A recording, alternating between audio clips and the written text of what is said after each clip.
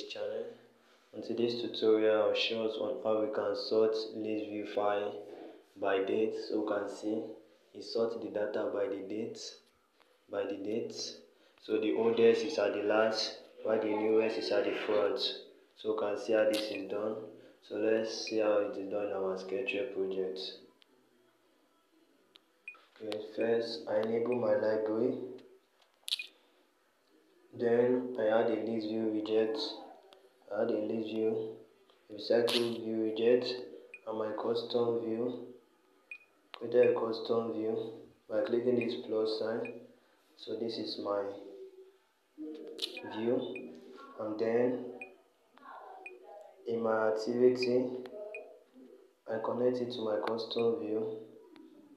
Then I add an urban custom view by selecting the urban custom view I created two more blocks. So this is my onCreate in my onCreate. I load the main device directory using my more block so first of all I add my right block for storage permission. And then this is the file path main user file path file path is the path then I pass it to my list map and then to my recycler view so let's look at our more block to load file paths.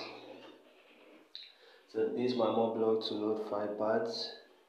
I created a map created a map called map a map called map and then I put this date to store my date and name to store the name and URI to store the URI so from Android 10 Android Android 10 URI is what we should use not file paths so then in my by custom view I'm going to set text based on the dates and time and the name of the folder.